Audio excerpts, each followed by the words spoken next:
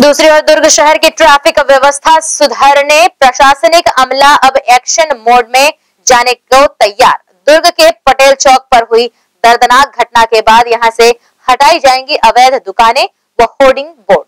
साथ ही इस चौक पर यातायात विभाग के जवानों की बढ़ाई जाएगी संख्या।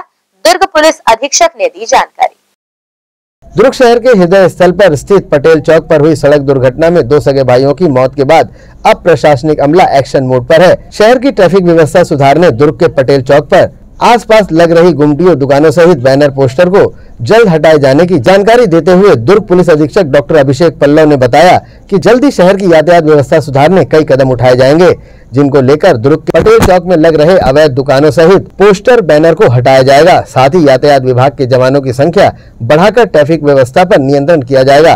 गौरतलब है की शहर के इस जगह से कलेक्ट्रेट, न्यायालय, तहसील, रजिस्ट्री ऑफ़िस सहित कई अन्य सरकारी विभागों के कार्यालय हैं। जिनके चलते लोगों का आना जाना लगातार जारी रहता है।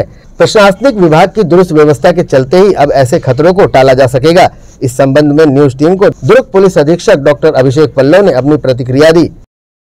चौक में क्योंकि बारिश बहुत तेज हो रही थी और छोटी गाड़ी जो है उन्होंने जो सीधा ट्रक में आके घुस गई। वहाँ आसपास जो फल की दुकान है, उसको शिफ्ट किया जा रहा है। जो बड़े बड़े बैनर पोस्टर लगे हुए हैं, जिसके कारण व्यू कट होता है, उनको भी नगर पालिका से बात करके हटाया जा रहा है। वहाँ पे ट्रैफ़िक के जवानों की संख्या बढ़ाई जा रही है और पीडब्ल्यूडी से बात की जा रही है किस तरह से उस मोड़ को और चौड़ा किया जा सके जिससे कि इस तरह की घटना की पुनरावृत्ति को रोका जाए। जिस तरह से ट्रैफ़िक व्यवस्था सुधारने प्रशासनिक अमले द्वारा उचित कार्रवाई कर स्थल को सुरक्षित रखने प्रयास किया जाएगा, वहीं नो एंट्री टाइम में स्कूल टाइम पर गुजरने वाली भारी वाहनों पर भी किस तरह से अंकुश लगाया जाएगा, यह देखने वाली बात होगी। ग्रैंड एशियन न्यूज़ के लिए दुर्ग से नसीम फारूकी की रिपोर्ट।